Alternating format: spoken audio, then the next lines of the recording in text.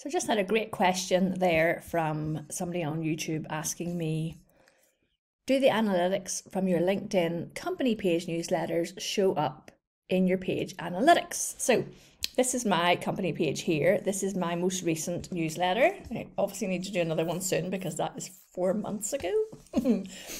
so when you click on the newsletter itself, you will see stats in here. So it shows you your statistics and it shows under post analytics here.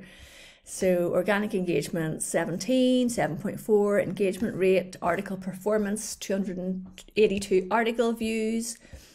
Is that showing up in our key analytics over here? So go to analytics on content. We have to go back to, let's say, when do, where we are, update analytics during that time.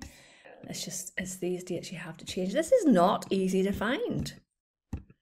So 11th of June to 15th of June. Update. There. So it says article, but we know that's a newsletter.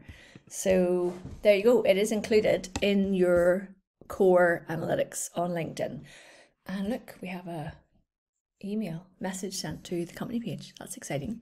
So I hope that answers the question. Um, your company page newsletter analytics are included in your page analytics.